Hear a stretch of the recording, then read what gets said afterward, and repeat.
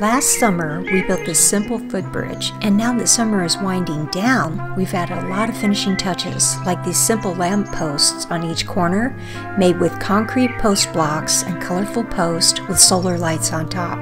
And we did it without digging or mixing concrete. We'll show you how we made them with love for a country house.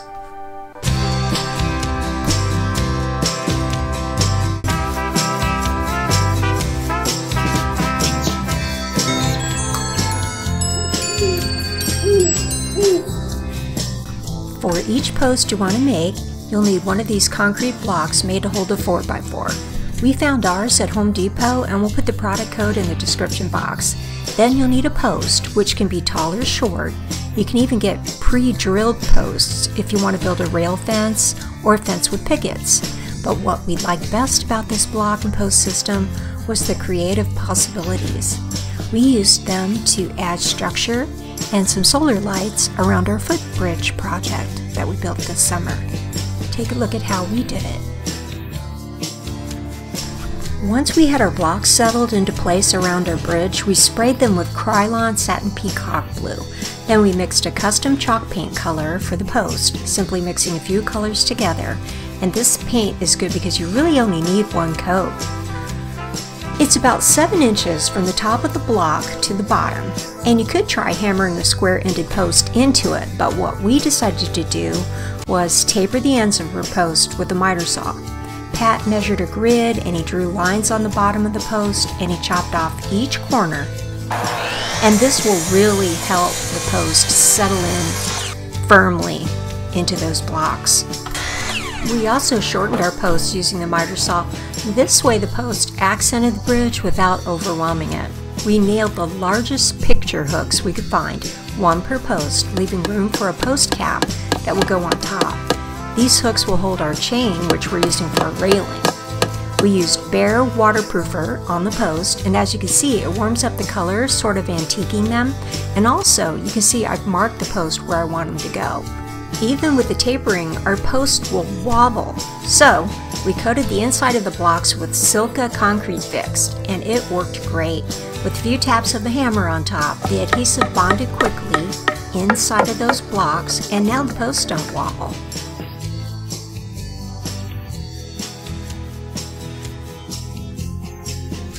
We used carabiner clips and 10 foot long lamp chains to create railings.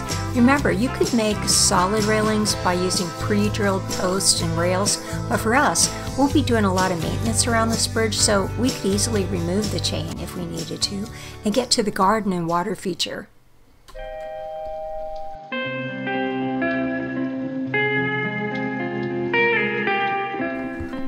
Waterproof and color the bridge at the same time, we used Behr waterproofing with a twist. We added to one cup of waterproofing finish, one quarter cup of Kilz Complete Coat, and a color called Berry Punch. You probably don't need a whole gallon of lilac primer. no, I didn't think so. But Kilz comes in a rainbow of colors in an 8 ounce size, so you can buy these little containers of tinted primer and use them for all sorts of colorful projects. But when we combined it with the Behr waterproofer, we could still see the grain of the wood, but it was thoroughly protected from water, and that's exactly what we wanted. Luckily, these water-based paints dry very quickly, so Luna didn't get any on her fur, and walking in the dirt removed it from her paws after she left her mark. But we were glad we could find water-based products to decorate this bridge project. Our big shortcut with our post caps was using ready-made post skirts from Home Depot. They're not expensive, but they can be tricky to fit, even with pre-cut lumber, so ours were a little too big for our post. So, after giving them a coat of blue chalk paint, we cut boards slightly larger than the skirts, and we glued everything together with Titebond, and we'll add nails with our nail gun later. We're using the top part of the solar lanterns we bought and we removed the plastic posts that go into the ground. Now we're going to cut holes in the center of our board tops for the short stems of the solar light. So first we mark the center of the board, then we use a hammer and nail to make a small pilot hole. This pilot hole step is very small, but it's super helpful in getting your drill to work quickly. and cutting your hole. I've never used a hole saw before, I've barely even used a drill before, but this drill by Ryobi is 18 volts, so it's got enough power that it makes up for my lack of skill. And it went through the board in about a minute or so, and as soon as it punched through, I removed the battery from the drill and I let the bit cool down. Here's what it looks like. It's made by Bosch to cut one inch holes, and I'm handling it with gloves because it gets pretty hot and I'm using an awl to push out the wood plug. Then I start the process all over again until I have four boards ready for my solar lights. We do a little bit of cleanup with a file, then here's a great tip. We use Loctite Go-To Wrap. We split a strip of it and we wrap it around the stem of the solar light. You could remove the wrap, but the idea is we're making the stem like a soft cork that can be pushed into the hole and then anchored with a little silicone glue. Done.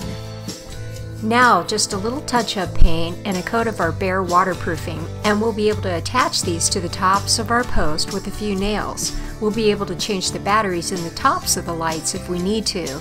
And we should be able to work the lights out and replace those too if we ever need to. But for now, can't wait to see them lit for the first time.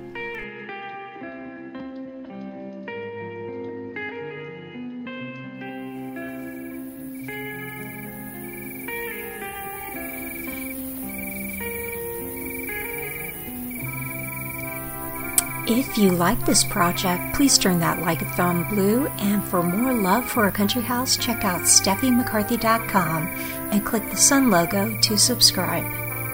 See you later.